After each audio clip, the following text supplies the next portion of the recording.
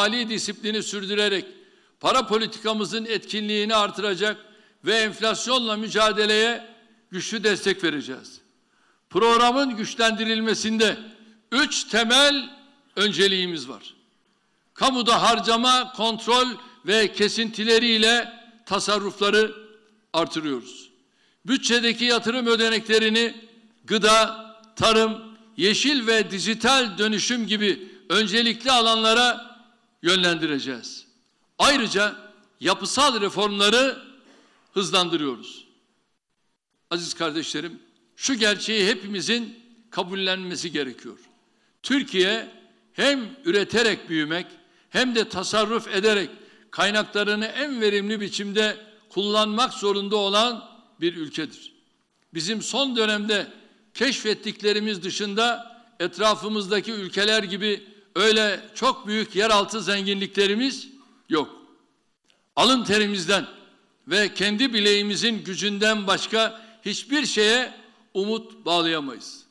Gelirlerimizi artırmak için çalışmak, daha çok çalışmak, daha fazla üretip ihraç etmek mecburiyetindeyiz.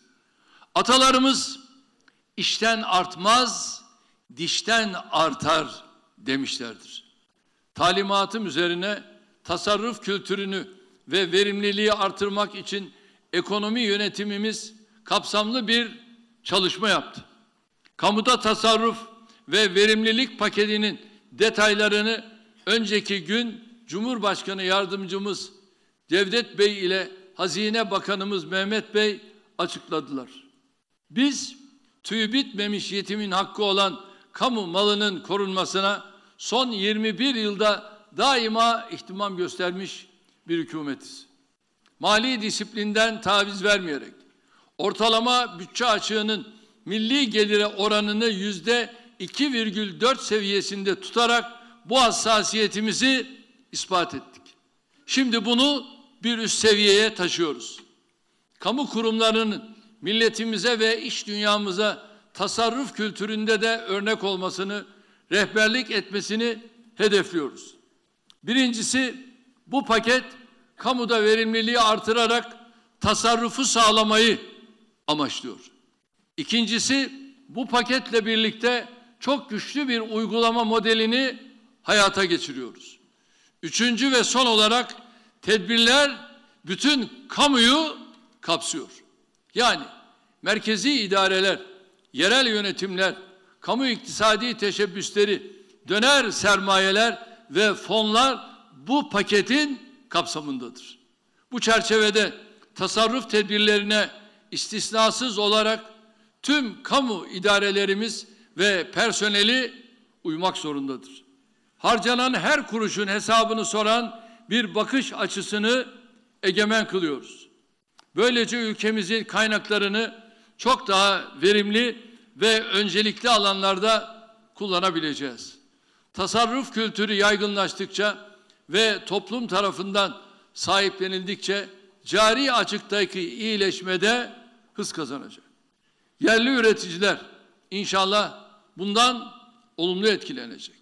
Kamuda tasarruf ve verimlilik paketinin sadece 3 yıllık bir hedef olarak görülmemesi gerektiğine inanıyorum.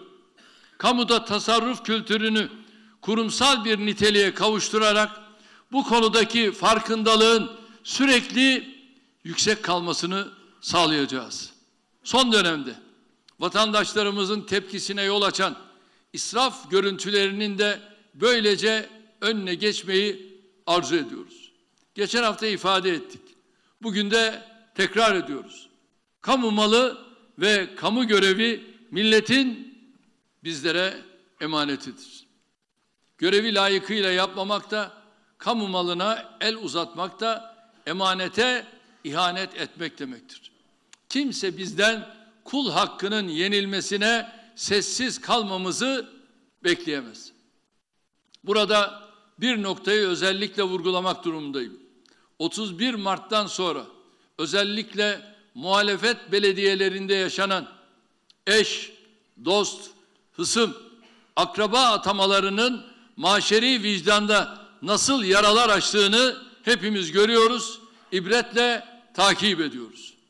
Adalet terazisi son derece hassas olan gençlerimiz iyice zıvanadan çıkan bu kayırmacılık vakalarından ciddi anlamda rahatsız oluyor. Gençlerimizin kamu kurumlarına ve yöneticilerine olan güvenlerini sarsan bu skandallara artık bir dur denilmesi gerekiyor.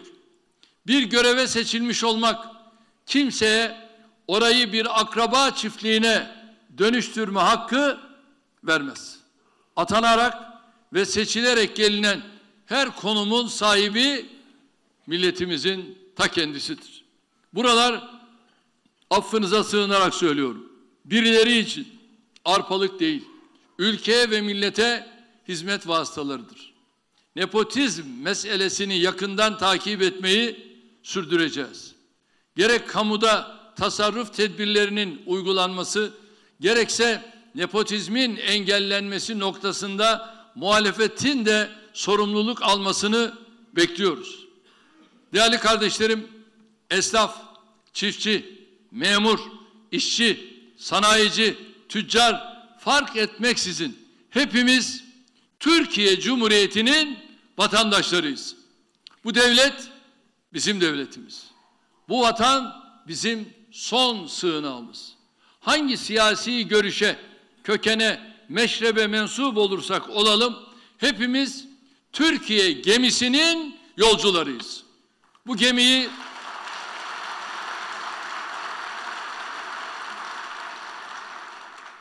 Bu gemiyi fırtınalı sulardan sahili selamete çıkarmak ortak görevimizdir.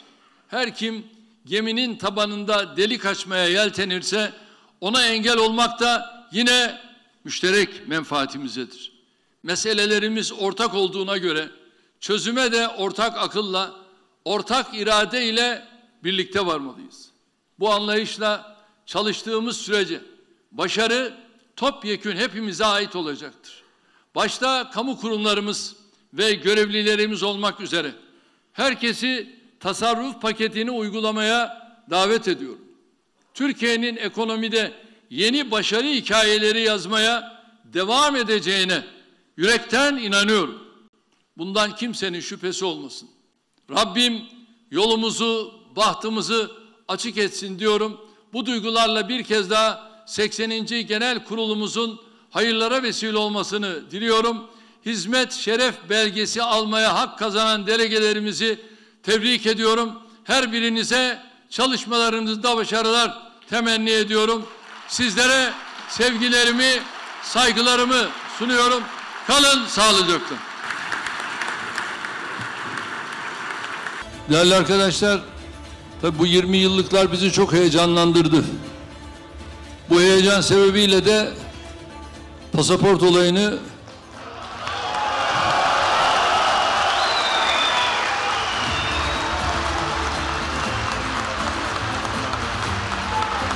Dışişleri Bakanımızla da görüştük. İnşallah yaklaşık 365 yanılmıyorsam değil mi? O da borsa başkanlarına bu yeşil pasaporttan verilecek. Hayırlısı olsun. Görevde oldukları süre içerisinde bu yeşil, pas yeşil pasaportu kullanma imkanına sahip olacaklar.